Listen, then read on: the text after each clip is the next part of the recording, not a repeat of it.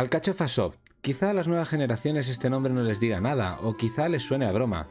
Bueno, a broma no, pero sí que es verdad que el humor es parte de su sello personal. Para hablar de esta compañía tenemos que hacer un repaso de sus videojuegos sacados al mercado. Esta compañía española que desde 1995 se dedicó a la producción de videojuegos fue un referente patrio en las aventuras gráficas. A todos nos viene a la mente el mítico y ya de culto Drácula. En realidad, si no me he informado mal, nació en 1988 y tuvo su último videojuego en 2008. Su bandera o su carta de presentación son las aventuras gráficas, pero siempre con tintes de humor. La primera aventura gráfica que querían sacar al mercado era The Abbey, la abadía, un claro homenaje al gran videojuego La abadía del crimen, inspirado en la novela El nombre de la rosa. Pero debido a la envergadura del proyecto se prefirió iniciar con algo menos ambicioso, aunque también a nivel profesional, Drácula. Y menos mal que era menos ambicioso, nada menos que un juego que para muchos, como decía, es de culto. Videojuego que por cierto ya traje al canal hace tiempo. Esta, su ópera prima, fue un éxito en 1996, fecha en la que se publicó, se tradujo a varios idiomas y fue reconocida por la crítica. En 1997 Alcachofa Soft realizó El Sulfato Atómico, un videojuego protagonizado por Mortadelo y Filemón, dos personajes de cómic más que conocidos en España, personajes del gran Francisco Ibáñez al que perdimos tristemente en este 2023. La asociación del nombre Alcachofa Soft y Mortadelo y Filemón no quedó ahí, ya que en esta primera aventura, debido al éxito de ventas, se llegaron a vender más de 40.000 unidades en su primera edición, propició la creación de nuevas aventuras gráficas de estos dos grandes personajes. De hecho, aquí nace una relación bastante fructífera entre Z Multimedia en la edición y distribución y Alcachofa Soft en el desarrollo.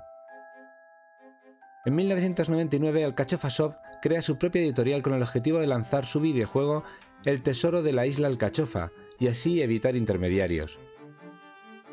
Por dejar reflejados algunos números extraídos de su antigua página web, en la campaña del año 2000 entre Isla Alcachofa y los productos de Mortadelo y Filemón, Alcachofa Soft distribuyó más de 100.000 unidades de sus propios productos y solo en el territorio español.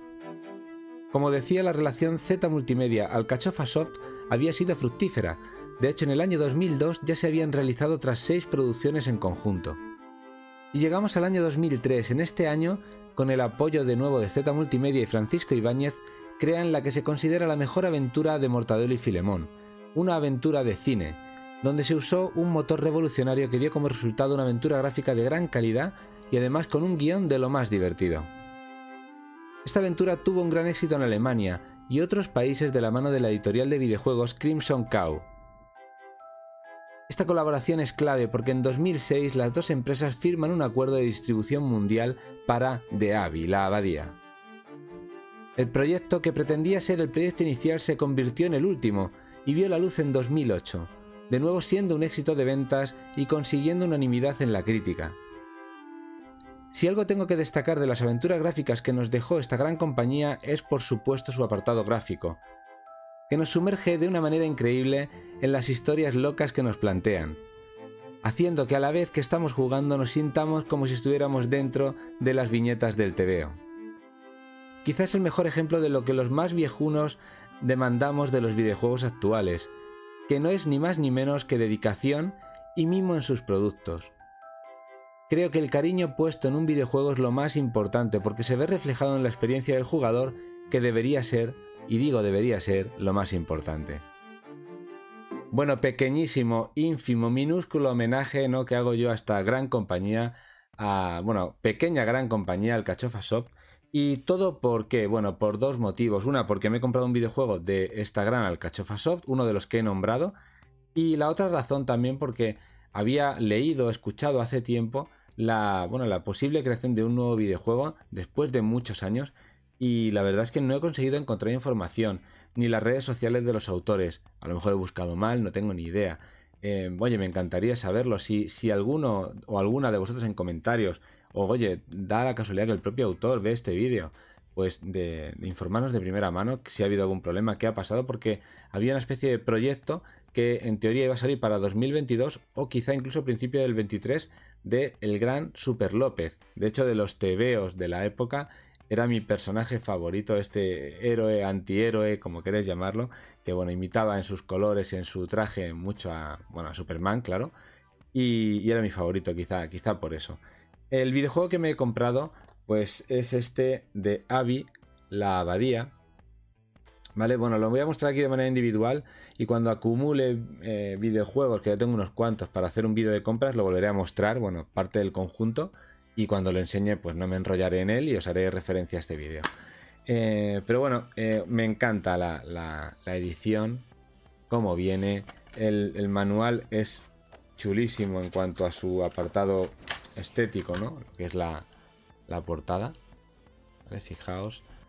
Em, lo que he estado viendo, que sí que es verdad que es una pena, me hubiera gustado muchísimo que hubiera venido a color. Pero bueno, nos explica aquí un poquito de personajes y demás. Ya lo he arrancado, he visto que, lo he podido instalar en Windows 10, que funciona, que va todo perfecto. Eh, no he llegado a jugar prácticamente ni 10 segundos porque quiero intentar traerlo algún día a un jugando y darle un, buen tiento al videojuego. Pero bueno, es un videojuego que eh, pues tiene un montón de cariño en las espaldas, se nota en lo que en lo poquito que ya, que ya he visto, en los gameplays que ya he visto en sí del videojuego. Eh, gráficamente es una maravilla, de las mejores aventuras gráficas seguro que tengo en todo mi catálogo por aquí detrás que veis.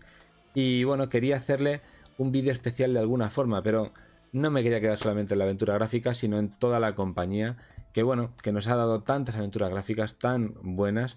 Eh, muchas me gustaría un montón tenerlas en, físico, pero es prácticamente imposible por los precios en los que se mueven. Las de Mortadelo son mucho más económicas y de hecho intentaré en algún momento hacerme con ellas, pero por ejemplo Drácula es casi, casi imposible, por lo menos en una edición que esté bien cuidada. Hace unos años eh, tuve una a, tiro, digamos, más o menos a un precio asequible y la dejé pasar. Eh, mal, mal hecho, porque la dejé pasar. Pero bueno, realmente no todas las tengo por qué tener en físico. Eh, me gusta mucho tenerlas, por supuesto, porque le doy cierto valor también a esas a esas ediciones y me gusta mucho pues, pues el coleccionismo en sí, como ya bien sabéis, de estas grandes aventuras gráficas y en este caso, pues oye, de nuestro país, de España, que, también tenemos que estar orgullosos de los productos que creamos en, su momento y también los que creamos en la actualidad, por supuesto. Pero bueno, estamos hablando de los años 90, esas aventuras gráficas que, bueno, para muchos pues marcaron una, una época y para muchos, como ya he dicho, eh, Drácula pues fue de culto y probablemente, si de Abby hubiera salido en el momento que Drácula, probablemente también lo hubiera sido. Y nada, invasores, hasta aquí el vídeo de hoy. Un buen like si os ha gustado el contenido, suscribiros al canal si todavía no sois parte de esta gran comunidad y nos vemos en un siguiente vídeo. Adiós.